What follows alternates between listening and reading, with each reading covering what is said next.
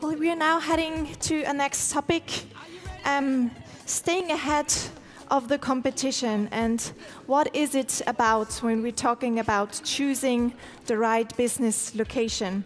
I'm kindly asking to come on stage and to welcome with me on stage Alexander Biach with the title Business Location, um, pardon, um, Alexander Biach, Business Location Advocate of Vienna and Deputy Director of the Vienna Chamber of Commerce. Welcome. Thank you.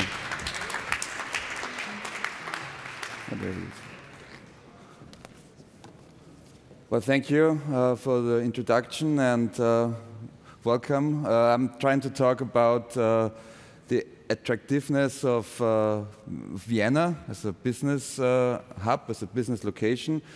What I tried to introduce to you are the advantages we think about Vienna has, and we will somehow try to focus on some points, on some strengths we try to strengthen even more in, in, in the future.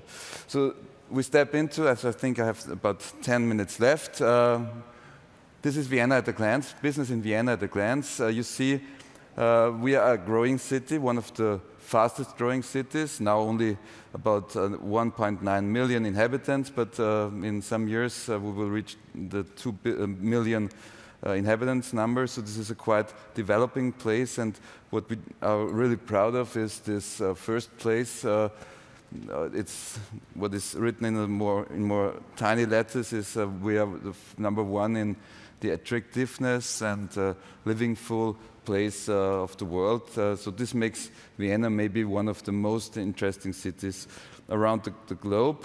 Um, we try to focus also on research and demand. 3.6 percent are a quite high uh, figure in comparison to other spaces and areas in, in Austria. So uh, we focus on, on a high quality also uh, of, uh, of education and research and demand.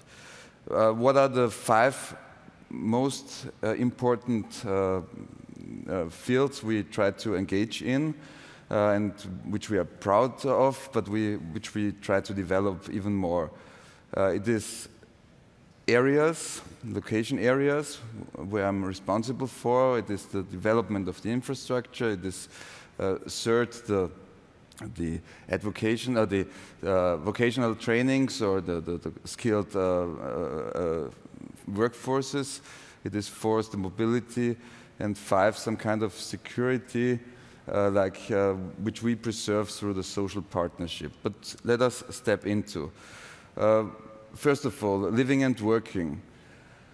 Areas uh, where you can work in and develop Vienna. Uh, we chose a quite interesting way. We preserved or reserved some areas only for production. So there is no housing in these uh, areas, but in these areas you can develop uh, industrial production, um, like we have three of these uh, areas you find in the south.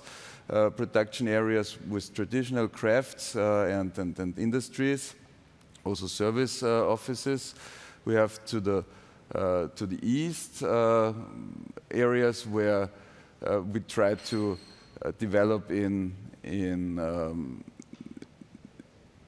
in, in logistic, sorry, logistic fields as there is a quite good uh, connection to the areas of the Danube River, to the uh, airport, and we try to develop in this uh, in this east area some logistic fields, and in the north area we try to focus on pharmaceutical uh, branches and also in uh, energy and, and, new technology uh, branches. So these are reserved for the production uh, areas in Vienna and shouldn't be like disturbed if you don't mind uh, me to say this uh, with housing activities because it is always the same like you you introduce housing activities in these areas and the production has to move on so we want to keep uh, the production in Vienna therefore we reserve the, the areas we try to keep on public housing in Vienna as you need workforces. Uh, Vienna is quite famous for attractive prices in housing. Uh, what you see here is that about 500 uh, people, 500,000 people are living in public housing, which is uh, attractive uh, for a good model for other big cities in order to keep housing prices affordable. So staying to areas, developing areas is one of uh, the points we want to stick on in the future. Second part, infrastructure.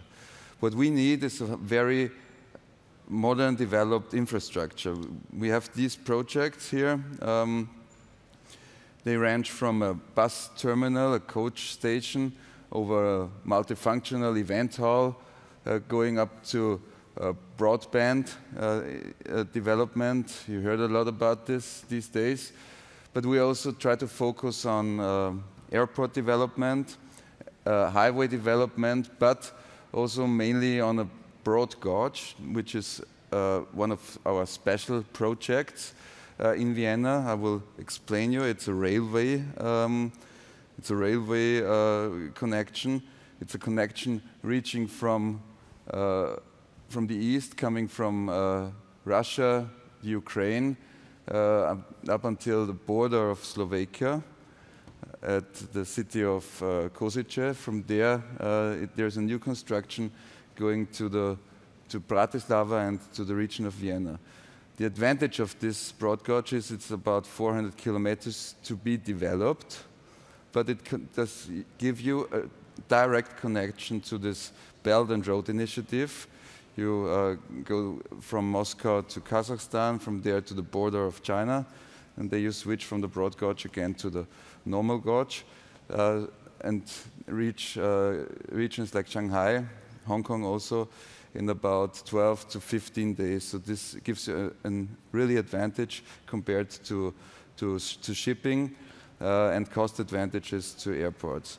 Uh, that's a strategy we, we work on and try to develop in the area of infrastructure. We are proud about the skilled labor. Uh, we have a high level of students, for example, in Vienna, about 200,000 students, one of the biggest student university cities in the German-speaking uh, area. But we also try to focus on this apprenticeship as we have trainings, vocational trainings in combination in business and in schools. Uh, so this is one of the, the, the, third step we try to develop even more, uh, dual academies for, uh, for uh, young uh, people or also for uh, students who, who try to switch into business trainings in order to get the right stuff for developing business in Vienna. Uh, next uh, area is the mobility area. What you see here, Vienna is in a quite suitable reach destination uh, within the heart of Europe. Uh, we try to work on more direct connections on the airport or plane sector, but we also try to develop Vienna as some kind of green city. About 50% of Vienna uh, is with fields and woods, uh, and we also try to uh, lower uh, the emissions. What you see here is from the year 1993, uh, we had uh, public transport 29%. In the year 2018, we are up to 38%. So this is a quite attractive development uh, for living in Vienna. Well, and I mentioned the last field we have and try to engage in as a Chamber of Commerce, together with the unions, uh, is the social partnership. Why do we try to engage this? Why do we try to, to negotiate on, on uh, treaties? Um, because of this. What you see here are the striking days uh, from the year 2007 up to the year 2016, uh, you find about two days of strikes within Austria. Uh, so this is maybe one of the most attractive points why to settle business here in Vienna.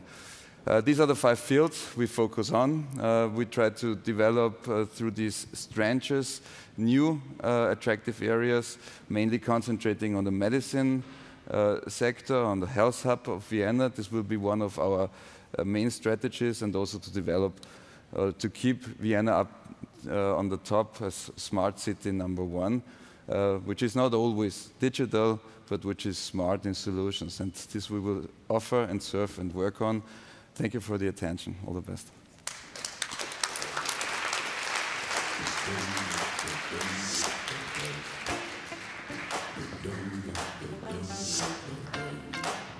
Thank you very much, Alexander Biach. Thank you. Thank you.